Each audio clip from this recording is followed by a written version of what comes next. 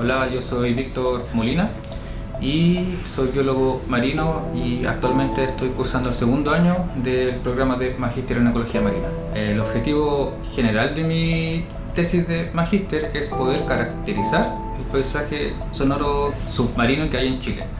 Para esto yo voy a elegir tres localidades y de estas yo voy a ver qué tipo de sonidos hay. pueden ser sonidos biológicos, sonidos geológicos como la lluvia o los temblores y en especial énfasis con el ruido antropogénico, que sería todo el ruido que se genera por las actividades humanas. Sería el primer estudio en, la costa continental de Chile que evaluaría o describiría el paisaje sonoro submarino a una escala anual.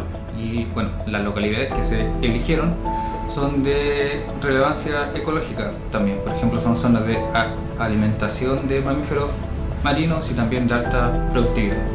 Y el hecho de evaluar el ruido antropogénico es porque bueno, cada vez más se está empezando a evaluar y a concientizar de, los posibles efectos que podría tener los organismos marinos. Y efectos negativos principalmente que pueden ser en el comportamiento, pueden ser en la fisiología de los organismos y también en la audición.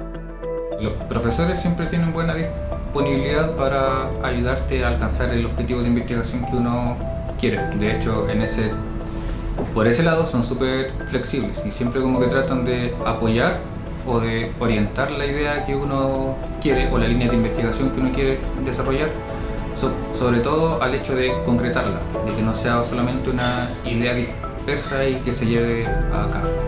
Y lo recomendaría porque, bueno, una de las recomendaciones que me hicieron a mí para entrar a este magíster era que era muy enfocado en herramientas y en realidad eso es lo que yo estaba buscando en un posgrado y la verdad es que lo he encontrado, sobre todo desde el apoyo de los profesores. Para mayor información pueden visitar la página ecologiamarina.ucsc.cl.